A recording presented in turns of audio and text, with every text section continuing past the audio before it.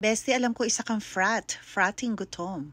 Kaya naman meron akong pandagdag ulam para sa'yo. Ito ang pork binagoongan. Inuna kong niluto yung talong at nag-deep fry na ako. Mas nadadalian kasi ako bestie pag ganyan ang pagkakaluto kaysa yung pakonti-konti lang na mantika. Piniflip ko yung bawat side niyan hanggang sa maging ganyan yung kulay. Tapos tinanggal ko at nilagay ko sa paper plate para naman ma-absorb yung excess oil. Magigisa na ako at naglagay lang ako ng konting mantika dahil pork belly ang gagamitin ko. So inuna ko ang garlic. Sinunod ko naman yung sibuyas at ginisa ko for a few minutes or yung medyo na siya nag-translucent. Ano ba yan? Nakagat ko pa yung dila ko. Naalala mo siguro ako, bestie, no? Moving on tayo, bestie. So, sinunod ko naman dito yung luya. Maninipis lang din ang hiwa ko.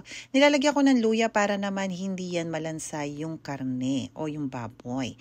So, eto naman, sinunod ko naman dito yung kamatis. Dinamihan ko. Parang naman maganda ang kulay. Pero kung nagtitipid ka, bestie, bawasan mo siya. Alam mo na yarn. Your money, your choice. Gustong gusto ko yung dinudurog yung kamatis habang ginigisa. Para kasi sa akin, mas lumalabas yung lasa ng kamatis. At syempre, kapag hinalo mo na yan sa karne, mas pumupula or nagiging vibrant yung color ng ulam. It will take a while para maluto yung karne, kaya naman takpan natin. At syempre, from time to time, kailangan natin i-check siya. Uy, tumataglish na naman tayo, bestie. Alam mo naman, pangarap ko talaga maging fluent sa pag-English spoken dollar. Kaya naman, kailangan tayo mag-practice because as what they say, practice makes perfect. Katulad lang yan ng pagluluto. You will never be a good cook if you don't start cooking. Oh ha? Ang dami kong English ngayon, bestie. Aklay mo yun? So ayan na nga, nilagyan ko yan ng vinegar. Balik tayo sa pagluluto, bestie. At nilagyan ko naman ng paminta. Hayaan ko munang maluto yung vinegar. Hindi ko muna siya haluin. Tatakpan ko na lang muna. Mga after 5 minutes ata yan, bestie. Chinek ko na yan dahil okay na yarn.